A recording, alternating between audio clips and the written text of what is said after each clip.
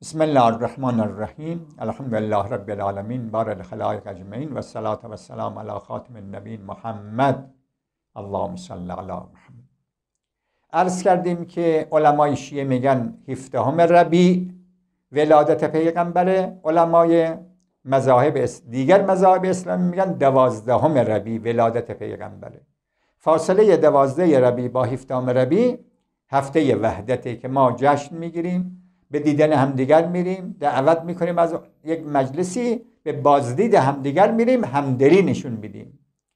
مرحوم سید شرف الدین عاملی در لبنان روز دوازدهم ربیع بر رسم اهل سنت می نشست جلسه می گرفت جشن می گرفت و علمای اهل سنت می آمدن به دیدن ایشون. و الان در بین علمای اهل تسنن لبنان و علمای شیعه لبنان کمال همدلی هست.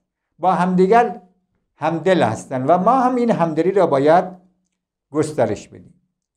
عرض کردیم یکی از برکات این همدلی اینه که اگر دشمنی از مسیحی ها از یهودی ها از بودایی ها حمله کرد به جهان اسلام ما باید دفاع کنیم.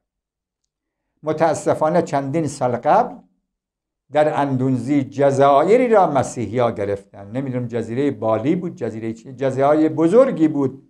مسیحی ها با کمک اروپا با کمک امریکا اینا آمدن و بخشی از این کشور اندونزی اندونزی هنفی مذهبن سنی هنفی مذهبن این بخش را از جهان اسلام جدا کردن و کسی نرفت. بر اصل که تفرقه بین جهان اسلام بود کسی نتونست به کمک اندونزی بره و این بخش از پیکره جهان اسلام جدا شد و به جای مساجد کلیسا زدن. کلیساها سربرا این یک کشور.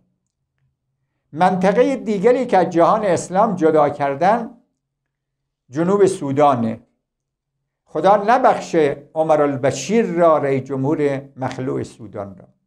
این مرد نابکار که ادعای می‌کرد که من انقلابی هستم من ضد اسرائیلی هستم دروغ می‌گفت. این مرد پلید آمد به اصطلاح بانک ماها پیشنهاد کمک بهش داده بودیم ولی قبول نکرد. رشوه گرفت از اروپا. ضعف نشون داد. این مرد خبیس تجزیه کرد جنوب لبنان را. بخش بزرگ چندین استان استان که آب داره سرسبز نیل سفید اونجاست. معادن زیادی داره. اینا را از پیکره یک کشور اسلامی سودان جدا کردن. این جعفر نمیری را سفید کرد. این مردی که ادعا می‌کنه مالکی سنیه این ما اعتقاد داریم که نه سنیه نه این وابسته به غرب بود. آقای عمر بشید تو در مقابل غرب تسلیم میشی می‌ذاری پیکره جان اسلام را جدا کنن جنوب سودان را جدا می‌کنی. و سی هزار سرباز را میفرستی به جنگ مسلمان های یمن.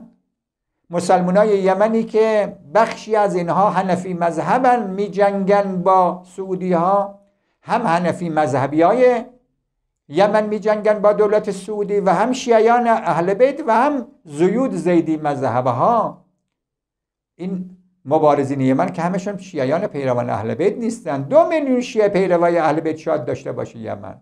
غالب اینها زیدی که مذهب ابو حنیفه فقه ابو حنیفه را دارن و یا خود حنفی مذهبن. اینا با سعودی ها می جنگن دفاع می‌کنن.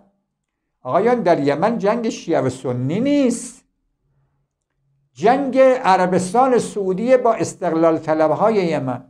خب شما سی هزار سرباز را میفرستی به کمک عربستان سعودی برای مال دنیا بجنگن و بعدم بخش بزرگی از کشور اسلامی را می‌دیدی به گارنگ که رئیسشون بود سرهنگارنگ و به مسیحا میدی. خب این خیانت به اصطلاح. اینا هم از قفلت جهان اسلام رخ داده. و السلام علیکم و رحمت الله و برکاته.